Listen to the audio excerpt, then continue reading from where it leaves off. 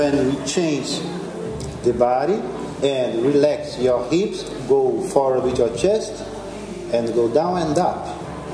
Down and up. You can change, you can use your hips before to up and down. Okay? If you want to use your hips before, you can lead her chest to lead her head movement. To side and come back, first her head, and you change her chest, and you make wave. So, but we're gonna do it here, and change space, lady close her chest, transfer your body, and then open to up, and then sit. It's important, guys, uh, with your left feet to go outside or basic steps. Okay, so after this, after wave, you can make a, on body movement with chest and hips. Hips back and forward, chest forward and back. And sit and forward and sit and forward and. Okay? So, we can um, use her hips before. When lady use your hips before, you open your chest. Now you open more, your body is front, you transfer her body to go up.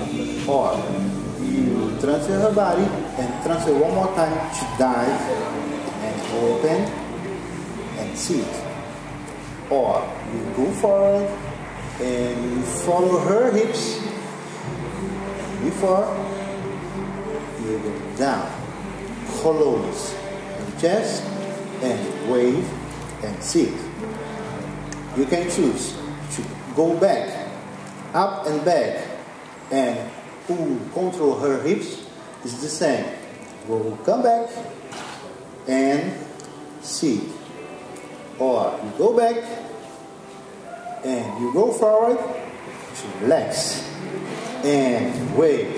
So it's the same, okay? After this, we change the body and go to side and other side only upper body and circular way, circular movement.